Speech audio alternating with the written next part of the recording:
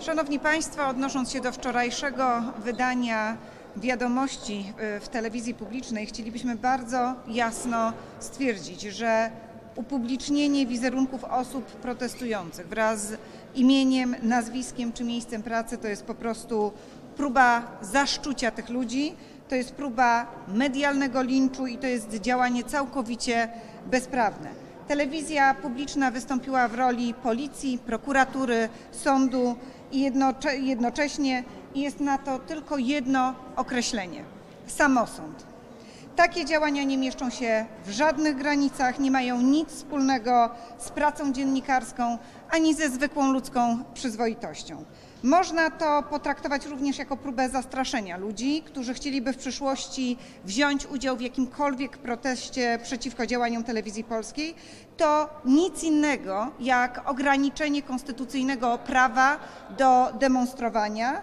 Wiadomości telewizji polskiej naruszyły także prawo do ochrony e, życia prywatnego i każdy poszkodowany będzie mógł się domagać odszkodowania w postępowaniu cywilnym.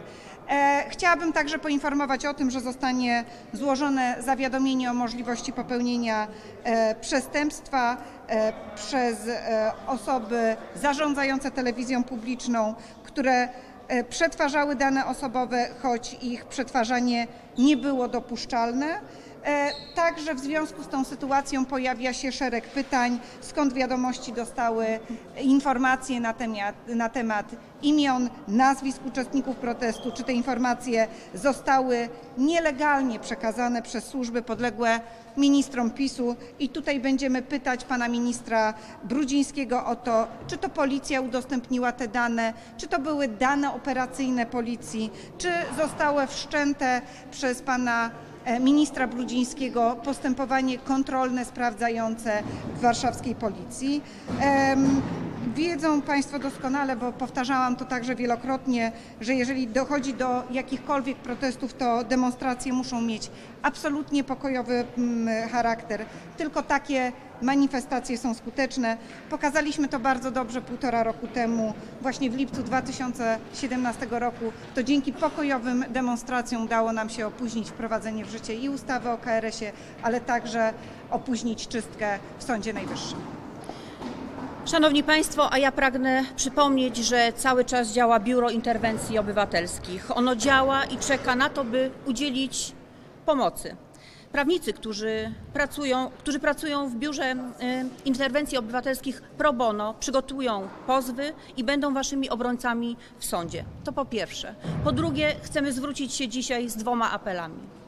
Apel pierwszy skierowany jest do pana premiera Mateusza Morawieckiego. Panie premierze, proszę wstrzymać dotacje w wysokości miliarda 260 milionów dla telewizji, która jest fabryką propagandy, partyjną tubą, tubą y, Prawa i Sprawiedliwości, fabryką hejtu, mową nienawiści i jednym wielkim kłamstwem.